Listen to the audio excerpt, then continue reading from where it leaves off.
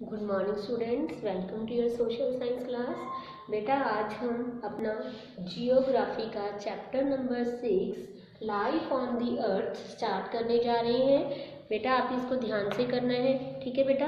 Let start now for millions of years our earth was a barren planet without any life अगर हम बहुत साल पहले से देखें, जो हमारा अर्थ था, एक बैरन प्लानट था। बैरन का मतलब होता है जहाँ पर कुछ नहीं होता। बैरन प्लैनेट था विदाउट एनी लाइफ क्योंकि यहाँ पर कोई रहता ही नहीं था तो ये क्या था? Barren planet the first form of life appeared in the water bodies belonging to the flora world जो सबसे पहले हमारे अर्थ के ऊपर लाइफ एग्जिस्ट हुई, वो कौन सी है?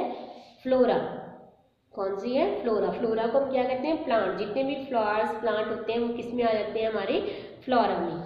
ठीक है? Gradually the plant life gave away to another form plant flora के बाद हमारे अर्थ पर कौन एग्जिस्ट हुए?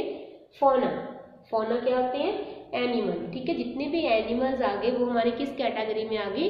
फोना में. कई बार आपको पेपर में भी क्वेश्चन आया था what do you mean by flora and fauna flora होते हैं प्लांट्स और फोना होते हैं एनिमल्स ठीक है बेटा? द रिलेशनशिप बिटवीन ठीक है? उसके बाद कौन आए? ह्यूमन बींग पहले फ्लोरा फिर फोना फिर ह्यूमन बींग और इकोसिस्टम इकोसिस्टम क्या होता है?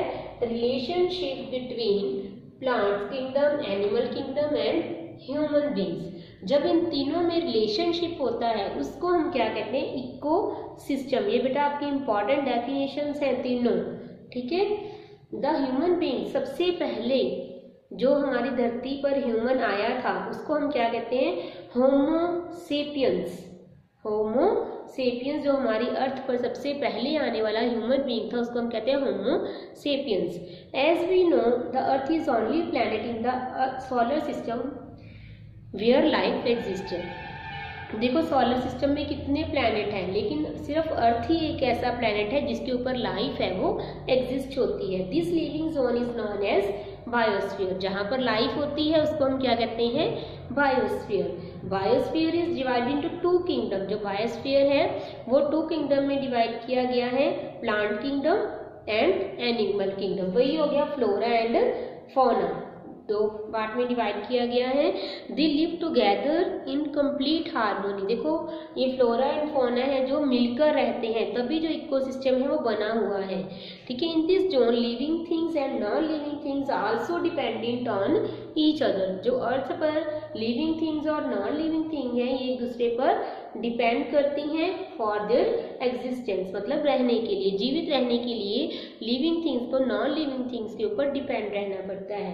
Plants prepare their own food with the help of non living thing अब प्लांट्स है, उन्होंने अपना फ़ूड प्रिपेयर करना है तो किसके ऊपर डिपेंड है? नॉन लिविंग थिंग के ऊपर, जैसे sunlight air water that is why they are known as food factories ये भी क्वेश्चन इंपॉर्टेंट है बेटा फ़ूड फैक्ट्रीज किसको कहते हैं? प्लांट्स को। क्यों कहते हैं? क्योंकि वो अपना फ़ूड है, वो खुद प्रिपेयर करते हैं। Plants provide food for the animals अब देखो, जो प्लांट्स है, वो खुद ही जो है फ़ूड बनाते हैं अपने लिए भी और एनिमल्स की बेसिक नीड्स को कंप्लीट करने के लिए भी। Animals also provide soil nutrients जब एनिमल की डेथ हो जाती है, उनके रिमेन से हमें क्या मिलते हैं? Soil nutrients which are helpful for growth of plant देखो प्लांट से फ़ूड किसने लिया? एनिमल्स ने। जब एनिमल की डेथ होगी तो वो जो न्यूट्रेंट्स है, किसको मिले?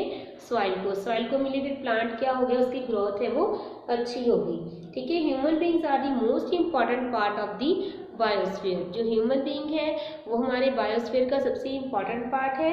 As they drive all their basic needs from it human beings consume both हम दोनों ही कंज्यूम करते हैं फ्लोरा को भी और फोना को भी. It is the only form of life in the biosphere which has altered the environment according to its own needs मतलब हम ह्यूमन बींग्स हैं जो अपनी नीड्स के अकॉर्डिंग जो है जो मटेरियल है फ्लोरा है फोना है, उसको यूज़ करते हैं. बेटा, ये क्लियर होगी इंट्रोडक्शन आपको? आगे हम इनके बारे में वन बाय वन करेंगे. सबसे पहले हम करेंगे फ्लोरा के बारे में. Plant kingdom. For studying the plant kingdom, we can study different vegetation belt of the world. अगर हम plant kingdom की बात करें तो हमारे वर्ल्ड में बहुत तरह ke प्लांट्स हैं बहुत तरह ke फॉरेस्ट हैं ठीक है? जैसे forest grass land bushy shrub ये बहुत टाइप्स के बेटा। आपको आगे करवाएँगे one by one they vary from place to place अब यहाँ पर हमारे कोई किसी और तरह के प्लांट्स मिलते हैं। अगर ड्राई एरिया राजस्थान में जाओगे, वहाँ पर अलग तरह के मिलेंगे। तो क्लाइमेटिक कंडीशन के अकॉर्डिंग प्लेस टू प्लेस जो है प्लांट्स वो अलग अलग मिलते हैं। जहाँ where the rain temperature and rainfall is high throughout the year trees are tall and dense जहाँ पर सारा साल रेनफॉल भी होती है, ठीक है, और टेम्परेचर है, वो भी हाई होता है तो वहाँ पर ट्रीज कैसे होंगे? टॉल टॉल एंड डेंस ठीक है? This type of climatic condition help in the growth of plant and animal life on the other hand जैसे डेजर्ट एरिया है, वहाँ पर रेनफॉल भी नहीं होती सारा साल, और वहाँ पर टेम्परेचर है, वो भी लो होता है तो वहाँ पर प्लांट्स कैसे होते हैं? ठीक है? तो the plant and animal life is limited वहाँ पर जो एनिमल लाइफ है प्लांट लाइफ है, वो लिमिटेड होती है।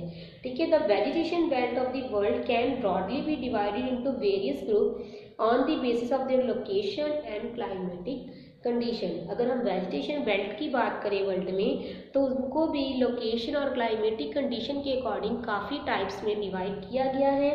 These are tropical hardwood forest grassland desert and temperate soft wood forest इनके बारे में बेटा मैं आपको कल करवाऊँगी वन बाय वन कि ठीक है ट्रॉपिकल हार्डवुड फॉरेस्ट कहाँ मिलते हैं, कैसे होते हैं ग्रासलैंड डेजर्ट इन सब के बारे में हम वन बाय वन है वो करेंगे। ओके बेटा, जो मैंने आपको आज एक पेज रीड करवाया है, आपने वो अच्छी तरह से करना है। ओके